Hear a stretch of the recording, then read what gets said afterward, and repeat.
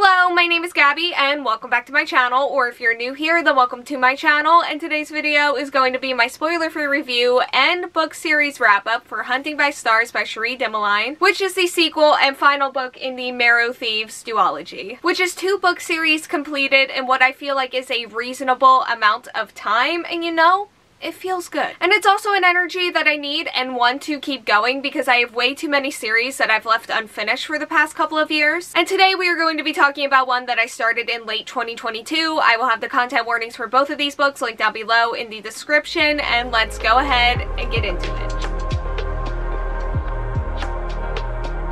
The Marrow Thieves takes place in a world where most of humanity has been destroyed by global warming and the indigenous people of North America are being hunted and harvested for their bone marrow, as it contains the key to resolving why the rest of the population is not able to dream. And we follow our main character Frenchie as he and his companion struggle to run and survive with the goal of making it to the north. And we are going to start this video by briefly talking about my thoughts on the Marrow Thieves. This was a book that I basically read in one sitting, and it was a really easy book to just get fully invested in. There's a large cast of characters and I felt really attached to all of them. And it also had just incredibly strong found family elements and honestly you don't really need to do much more for me to like a book or really any story. But on top of that the Marrow Thieves also had a really compelling story. It was very apocalypsy with some fantasy elements while also still reflecting real life atrocities and hate. Everything was going super well for a long time however there were a few scenes towards the end of this book that were not my favorite, especially when it came to our main character and the romance, which were two concerns that I took with me going into this sequel,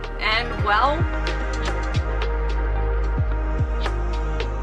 did start out this book pretty worried because it was going a little bit slow and it did feel kind of basic and I just didn't really love what was going on for about half of it. Frenchie's storyline, for example, felt very tropey. However, his chapters quickly became where I wanted to be the most because that's a lot of where the story was happening and progressing. And the other point of views just took a little more time with me, although less time than Frenchie's. Because even though his chapters were where I wanted to be, they still weren't my favorites in terms of content and I liked what the other point of views were doing better in terms of content.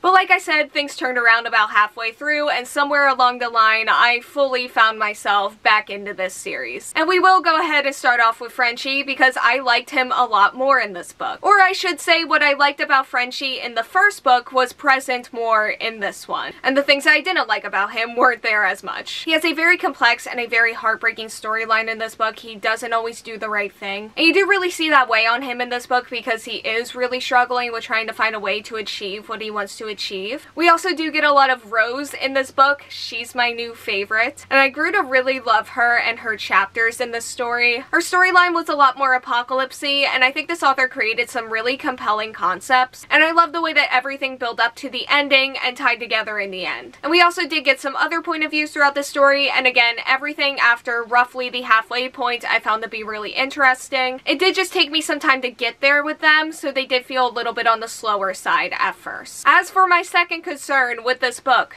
the romance. And yeah, again, I didn't really need to feel that concerned about it. I will say I do think that I prefer this romance when the two characters involved are separated from one another. There was a brief moment in this book where I was reminded of why I was concerned in the first place, which made me roll my eyes pretty hard, but these two characters deserve to be happy, so I'm happy for them in that sense. And once again, just like book one, my favorite aspect of this story was by far the found family, and this just fully took control over my heart in this book because there were just so many heartbreaks heartbreaking and also heartwarming moments. And you can just really feel how much love these characters have for each other and I feel like that was really amplified in this book just because of the nature of the story and I felt fully attached to every single person involved in this family. And we did get to know some of them more in this book and read their stories which was really nice because it did end up helping me get even more attached to them even though I don't really know how much help this book needed on that front. As for the villains, this book has a variety of them and they were all really different from one another and also really showcase just a multitude of twisted and ugly reactions people have had to their current reality and the actions and paths that they took as a result. And like I mentioned earlier, it felt very real in a lot of ways, which is very scary to say the least. And there are once again just a lot of things in this book that can easily be found in history and also modern day. Hunting by Stars is a story with a lot of tense moments that I was on the edge of my seat for and rooting for the characters the entire way through. And like I said, that there's a lot of heartbreak and a lot of darkness, but also a lot of hope within the story and within these characters. And I just ended up feeling so many different emotions by the end of it. And speaking of the ending,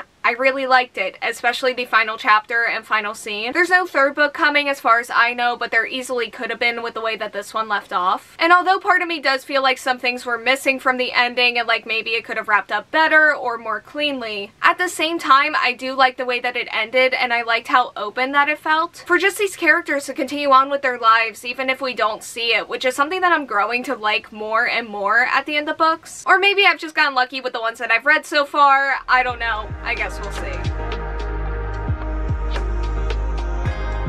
Overall, this series has definitely become a favorite of mine, especially within the apocalypse genre. I haven't thought about it too hard, but it actually might be my favorite, and that's all thanks again to the characters and the found family. And those things combined with just a really compelling concept and storyline made for a good, high-quality reading experience that I am sure that I will be thinking about for a long time. As for my ratings, I gave the Marrow Thieves 4.25 out of 5 stars. I'm also going to be giving Hunting by Stars 4.25 out of 5 stars, which makes my overall final rating for this duology 4.25 out of 5 stars. Okay, so that is all that I have for today's video. Thank you all so much for watching. Like, comment, subscribe, hit the bell, and answer the question that'll be around here if you want to do that. And hopefully I will see you here next time. Bye.